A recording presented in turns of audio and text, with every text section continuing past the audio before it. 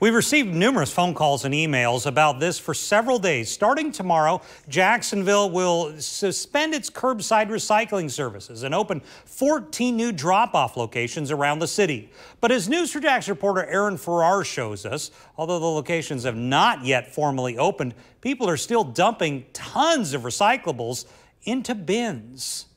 This is at William Sheffield Regional Park. These four recycling bins supposed to be opening tomorrow. Instead, they're already overflowing. Take a look at these two right here and what's between them. Bags of recycling, plenty of cardboard boxes and bottles. Recycling bins literally overflowing at William Sheffield Regional Park, a site just as bad at the opposite side of town at Normandy Park.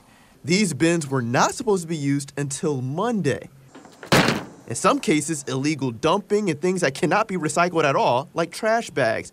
This is what Normandy Park looked like Sunday morning. Less than an hour later, this picture from a viewer showing that pile outside of the bin growing. The city setting up these 14 sites for dropping off recycling starting Monday, when curbside pickup will be indefinitely suspended. Most of these new sites are at parks. News4JAX spoke with Kathleen Murphy on Thursday when the bins were being set up.